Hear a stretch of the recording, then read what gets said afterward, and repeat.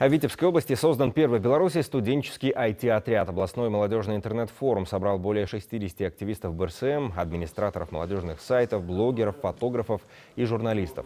Создание IT-отрядов – это новый вид деятельности. Пока речь идет о команде из семи человек. Это маркетологи, веб-дизайнеры и программисты. При поддержке фирмы-партнера они будут создавать и продавать сайты, контент и IT-решения.